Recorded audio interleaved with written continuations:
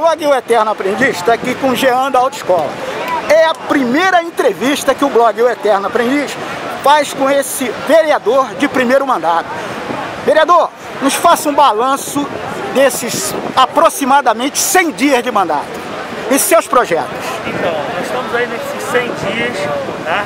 Estou aprendendo muito o vereador de primeiro mandato, mas estou aprendendo bem, tá? Se Deus quiser, nós vamos lutar bem pela cidade, tá? O Zé está fazendo um bom trabalho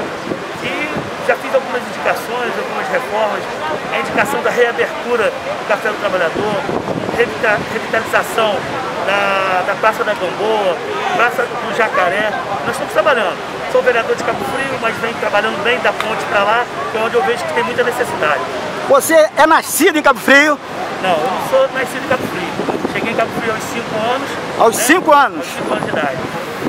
É morador de qual bairro? Sou morador há 38 anos do bairro Jacaré. Do bairro Jacaré, da comunidade do Jacaré. Conhece os seus problemas, as suas dificuldades, é isso? Conhece os problemas, conhece as necessidades, conhece a minha história de vida. Filho de ambulante, filho de cocadeiro, cocadeira, Dona Nora Sr. Demilton.